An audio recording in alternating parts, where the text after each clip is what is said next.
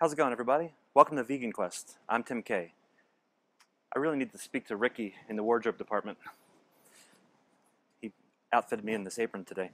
Anyway, today's guest needs no introduction. So I'm not going to introduce her. But she's going to come on here and teach me how to make something called crabby balls. I know what you're thinking, and it's not that. Nope. It's not a couple of soccer balls that have been kicked into the harbor in Baltimore. It's actually a food, and uh, and I'm going to eat it. So uh, we're gonna, without further ado, ladies and gentlemen, Kelly Sanders. Hello. How's it going, Kelly? It's going well. How Welcome to the show. Thanks Hi, for coming thanks on. for having me. I'm so excited about your crabby balls that um, I've been dreaming about them.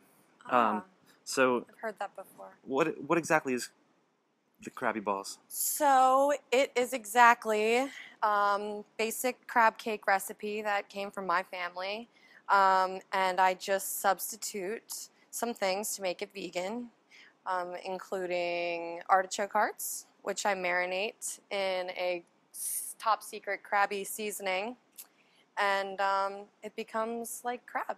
Oh, it sounds exciting. So you are um, you're a professional cook and you do a lot of work with um, the restaurants around town in York, Pennsylvania. Yes, I do. W- what does that kind of work entail? Um, basically, just coming up with really good seasonal um, recipes, easy to prepare, um, really tasty, things that people like to eat, and um, How how, making them vegan. how well do your crabby balls go over with? They go uh, over very well. Yes. Is there well. any particular restaurants in town that um, we can go to pick up, try them? I have served these um, in a different form. I served crabby crabby cakes. crabby cakes. Oh, yes, at. World Grills, which is similar. I did that over the summer, so I will be bringing them back, um, and I believe I'll be offering the crabby balls as an appetizer, oh, and possibly at the Holy Hound. Oh, the Holy Hound. That's a great bar. Yes, My favorite bar in York. the best bar in York. and, and um, you know, I, I hail from Baltimore, Maryland, so it's been a long time, but they have crabs there, and obviously Mm-hmm. that's what everybody talks about when they when they mention Baltimore. Sure. So I'm going to give it the old Baltimore test. All right, perfect. All right, so where Can't do we wait. begin? Okay, so first and foremost, you want to heat up your oil. So get that going to just under burning. What kind of oil? Vegetable? Um, vegetable oil is fine. Um, any kind of deep frying oil you like to use um, is fine. It's really, it's really good. Um, nothing with too much flavor because you don't want to take away from the flavor of Sure. the crab. Okay. oh, what is this? This is the marinated artichoke hearts, and I just take a crab seasoning blend, stick them with the artichokes, and um, it has salt in it, so it's going to draw out some moisture. So you'll see I've already taken moisture out of them, and just sitting here, some of the moisture will come out. Oh, can I show that to the camera? Yep, absolutely. Artichoke hearts. I usually marinate those overnight in the fridge, just like you would any, you know. Artichokes are a good. Um, I'm learning all this as we go along, but artichokes are a good um, substitution for the texture of meat. Yes, Right, very good, very good, because the uh, texture is different. Yeah. From um, from the base to the tip. So at the base you get kind of like that meaty texture, and at the tip it's more of like the shredded sort of um, texture peels apart. So it was Sure. perfect for crab. I tried other things, but this really worked the best. All right, I can't wait. Okay, great. So, second step, I'm gonna come over to the food processor here. This is a little trick that uh, I sort of invented with my family to uh, get the sweetness. Some fresh corn. Some corn. corn, because nothing's more southern than sweet corn. Oh, you're from the south. Where My are family's from? the south. I was born in New York, but um, my mother was born in Savannah. My grandmother was born in Charleston, and I actually just moved back here from Charleston last year. Oh, Yes. and you specialize in the southern style food, Yes, I do. hmm southern style vegan food. Yes, Southern style vegan food. Okay, so you just kind of want to trim the onion here. This is a half an, a yellow onion, and I sort of quarter it. Um, that one's a little small. I did bring an extra one just in case it wasn't enough. It's looking like I might need a little bit more. So you don't have to chop it up too too small. No, because it's going right in that food processor, and that's going to do all the work for you, really. All right. Um, and then you just kind of want to pulse it because the last thing you want to do is completely pulverize it and then end up with a um, paste. You don't want that. I was going to say a saute, but that would be the wrong word. That would be the wrong word, but that's okay.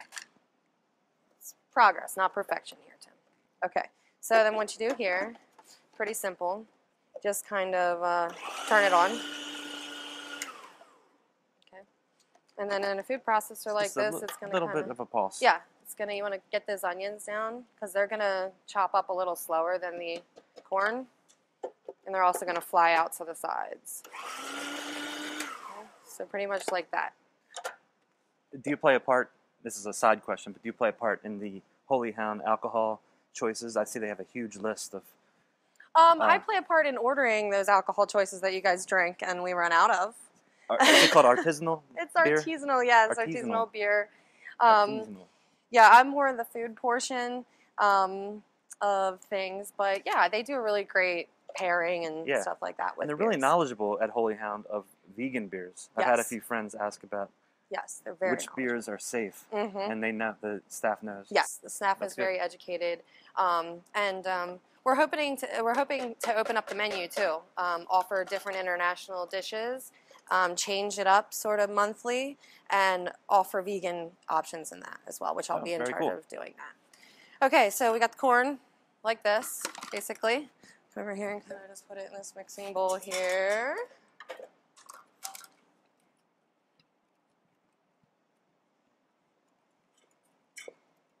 Okay, so I might want to put these in first. Um, these are chickpeas, and I just rinsed them and shelled them, which is like peeling the skin off of each one of Is them. it- You have to do that individually for yes, each piece. individually. Is that tough to do? It's a lot easier than stringing string beans or peeling potatoes, which So I also do pretty often. yeah, I- it's it's not as time consuming as you would think. They just slip right off. So you just Yeah. basically pick it up, pop it, pick it up, pop it, pick it up, pop it. It's easy. In cooking, if you want perfection, you must be patient. Yes, Right. patience is very important. And So- speaking of Baltimore and um, crabby balls, um, Yes. not too long ago, I was down in the the Fells Point area, Mm. and um, Ah, some I I saw a guy jump into the harbor, which you're not supposed to do. no. And um, you know, I always thought that there's a lot of crabs in there. What if he hits a lands on a crab and the crab bites him? Wow. you know? They bite. Yeah, they do. Then he would. I mean, depending on where he was bit, Right. Tim, Right. Well, you could end up getting out of there with some crabby balls.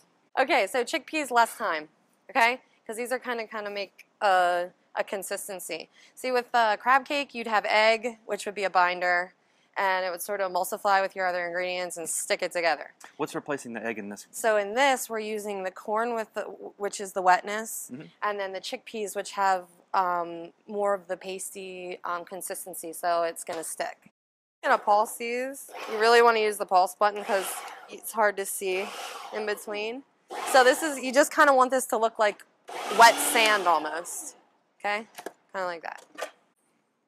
Wet sand. Okay, it's gonna be dry. That's why you take the shells off. Keep it dry. If you leave the shells on, it gets too wet. That has an, an interesting smell to it. Mm-hmm. Almost smells like the Baltimore Harbor. Mm-hmm, right? Swimming with good flavor. Okay. Okay, so basically what I have here is the corn and onion mixture, um, and I added the chickpeas. Yeah. Um, and at this point, what I like to do is season because we're seasoning. The, this is already marinated, but what, what we're seasoning is the corn, the onion, and the chickpeas. Okay. And you eat vegetables, you know they take a lot of seasoning. So Yep. um, I'm using pink Himalayan salt. Sometimes for this recipe, I use sea salt just because they're crabby cakes. Um, Looks a little bit like rock candy. yeah, it looks like rock candy. It's uh, not as potent as regular salt, so um, you're going to have to add a little bit more if you do use this. It's much healthier, however. All right. So let me add this in here. And can you use table salt if you're in a pinch? Yeah, Or is it absolutely. not, it's not as. I would recommend using more than a pinch. Yeah. Maybe five pinches. But um, I meant yeah. if you were in a pinch, like oh. the crabs. Never mind. Never mind. Okay, um, back to this. Also, I add a little bit of this super secret crab seasoning. Is that your own? Yeah, it's Old Bay plus love. Oh, okay. Okay, so just you know, kind of coat the top a little bit there. Um, I like smoked paprika also because for me, when I eat bluefin crabs, they have this sort of like smoky, I don't know, flavor to them. Do you know what I yeah, mean? Yeah. Okay, so that kind of adds that. crabs? Do you smell that? Yeah, bluefin crabs there off the coast of South Carolina. Okay, and then I add red pepper because I love spicy. cake. So you you do this so often that you kind of know by memory I how much already to put know. Now, when um when I add the smoked paprika and the red pepper, they're both optional. Um, so it's really by taste. Mhm. Smoked paprika can be a little bit more potent. Red pepper is a little bit more potent than black pepper. If you want to add black pepper, I'd say crack black pepper. Do like three or four turns. And one thing that I like about cooking actually is that you can experiment each time you do it to get a little bit of a different spin on Absolutely. your dish. Absolutely. And always taste while you're cooking. It's very important to taste your food while you're cooking because you don't want to get to the very end and be like, "Oh, I forgot salt." Because you, You know, a lot of people say that, but what if you're on a diet? well, if you're cooking vegan food, you don't have to worry about that. Good answer. Okay. So um, I'm just gonna kind of stir this in here. Um, with these, they look beautiful as they are. However, we're gonna chop them up because we want them to resemble. Are those leeks? These are artichoke hearts. No, I meant in Oh. the sink. In the sink. It's got a leak. Oh, yes. I'm just Those, that's that's it.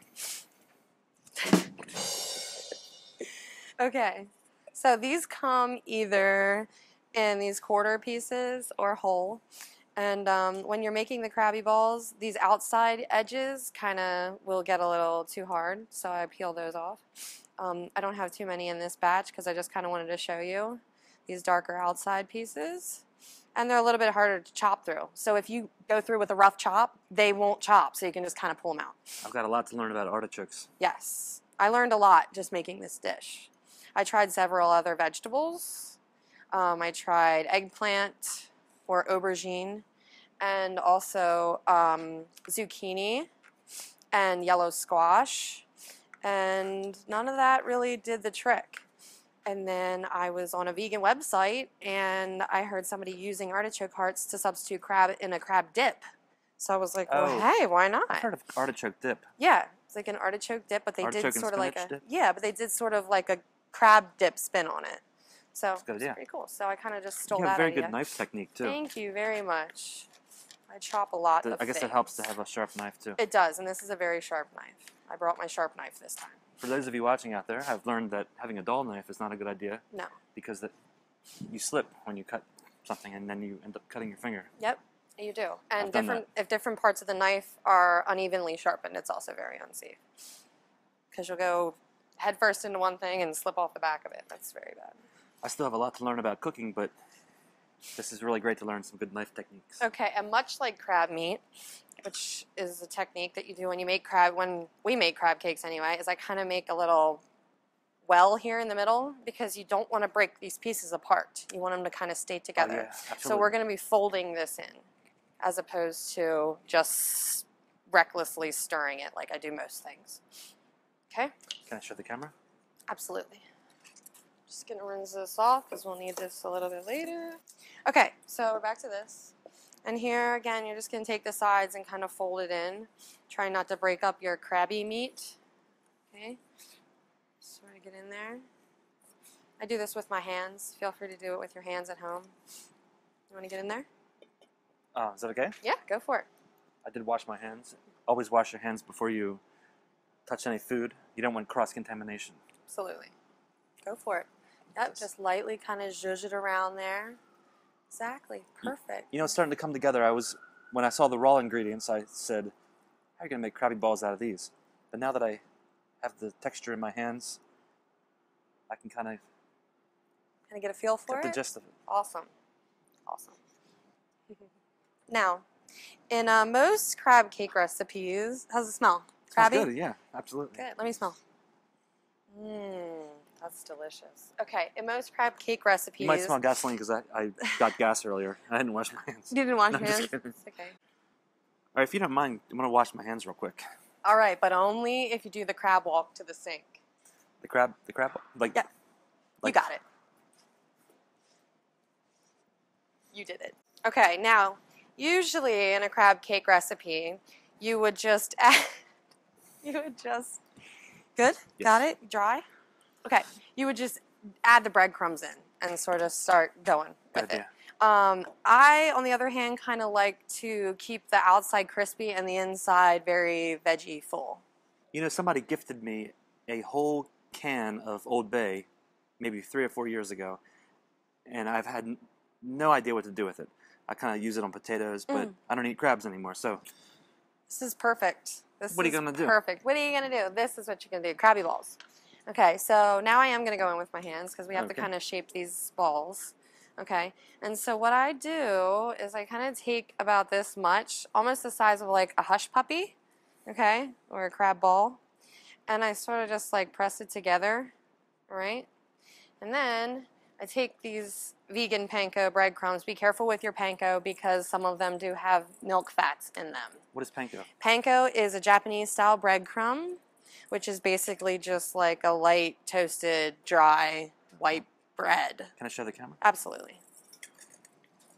Panko. Seen a lot of Japanese recipes. So I just kind of take the panko, sprinkle it on here, and mash it in. It's sort of a breading. It's sort of a breading and like a breading coating. It is a breading, instead of right? having yeah, it is a breading. It's exactly what it is. It's bread. So instead of having um, breading all through, I just kind of put it on the outside. Because if you know crab cakes, it's very important to have pieces of crab showing, and it not just to be all blended. Right. That's part of the appeal. it's some part people. of the appeal. Yes. Oh, Okay, so we got one ball down. What is jumbo lump?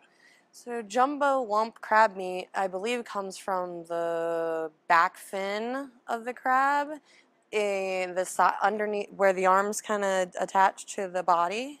There's arms. There's arms. I was thinking of a shark. 'Cause you said, did you say fin? Yeah, I was- they have there's little no fins. fins. There's, there's fins on a crab. hmm Shows you how much I know. I need to go back to anthropology class. Yeah, you do. Not now though. Not right now. Maybe later. Because right now we're doing crab balls. I did study topography. Okay, so um, you could be crazy and just kind of plop this in here, or you could kind of like spoon drop it in. You want to spoon drop it in? Okay, so just spoon the balls just like that. Okay, What do you and then spoon you the dip balls? the balls into the hot oil. Uh huh, and just let them go. Pull your spoon out. Mhm. Sorry, you'll be good. that really is crackling. Huh? It is crackling. It is crackling. So the wet ingredients. Another one. Yep, we're gonna do How another many one. can you do before they start to combine? So I'm gonna do about four in there. Four at a time. Um, now it's very, very important that you get when you make these balls. I'm pushing, I'm squeezing them and trying to get a lot of the moisture out because when that moisture hits the hot oil and it gets hot inside there, it's gonna explode. So you got to make sure you get a lot, as much moisture out as you can. Coat them in this, and then get a good dry surface on the outside. we had somebody on the show last week that went to a place called the Roadkill Cafe. Oh, Is that somewhere where you could find crabby balls um, in Baltimore, in Baltimore? um, sure, yeah, you can find anything there if you go on the right road. Okay, and we're gonna dip this ball in as well. I'm gonna try to keep it together there. And you know what? If they bust open inside the oil, it doesn't matter. Kind of try to shape it against the pan pot, and if you can't, then you just eat what comes out. okay, so um, I'm I got three. I got two in there now, right? So you're gonna dip this third one, and then we're gonna check the first one. The last, the very last thing you want to do is burn your balls. Okay.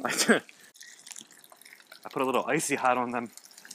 Okay. Whoa, that Okay. worked. Cooked really fast. We're gonna, yeah, it, they're very fast. They cook very fast. See how this one kind of is piecing apart a little bit? Why is that? That's because I didn't get enough moisture out of it and I didn't seal the outer layer. Okay, but again, like I said, it doesn't matter because look, it's still a crab ball. Yeah. Yeah, so it's never gonna completely fail on you. That's why it's a really good go-to recipe, especially when you're trying to entertain or have guests, and it's quick. Well, you know, in life, wait. Well, you know, in life, as in cooking, there is no failure. As long as you learn from your failures in life.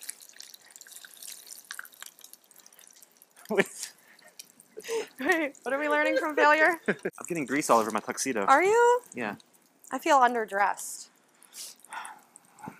that damn Ricky. It's a good thing I brought some lemon juice. Because dressing. Oh,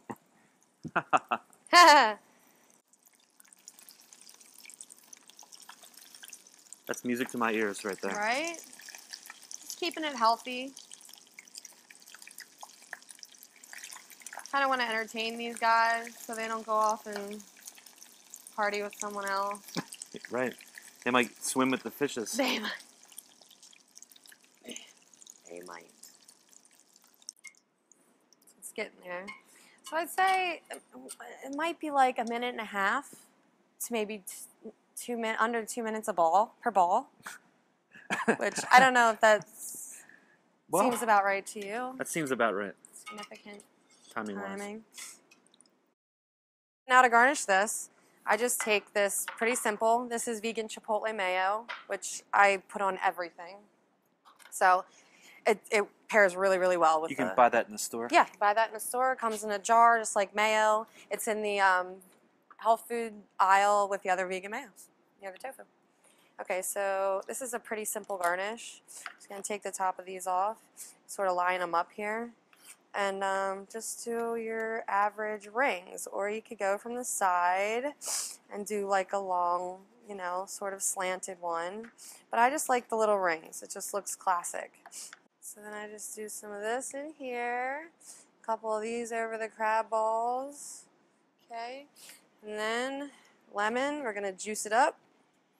The garnish really differentiates the the meat, so to speak, from the vegetable, which is the garnish. Exactly. You always want to pair something that you cooked with something fresh. Visually, I mean, it's, Visually, yeah, visually, and it it appeases the palate because you it allows you to get all of those different um, things happen at the same time.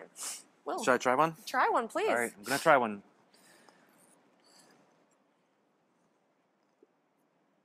Ow, that one's really hot. Yeah, Actually, I'll, oh, I'll start with this one. wanna This one wait. has been a while. Yeah. So I just dip this in. Mm-hmm. Careful, it's a little bit hot.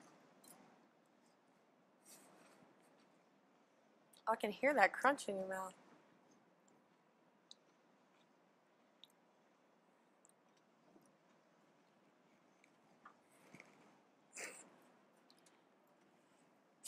Wow, this is better than anything I've ever tasted in a restaurant before.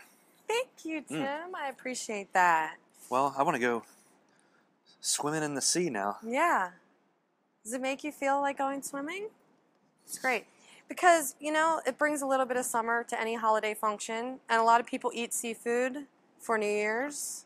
So, this is a good way to do it vegan style. And you can just bring put your balls in a bag and bring them with you.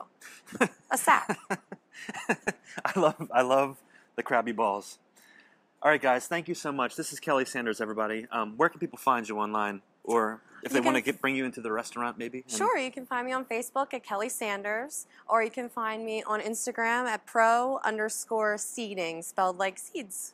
Okay, and um, we want to thank everybody out there. Um, we've been getting a lot of comments and things. We want to encourage you guys to watch the videos and share the videos with ev- all your friends. And um, in a couple of the comments, people have noted that um, I sometimes I sing on the show. I, I don't always do it, but sometimes it, it strikes me. And you know what? This is my show. I do what I want. So I'm going to sing a song for you, Kelly. Awesome. You ready? I can't wait. On the twelfth day of vegan, my true love gave to me two turtle doves, three French hens, two turtle doves, and some crabby balls in a tree. This is a poinsettia. Oh. But that's okay.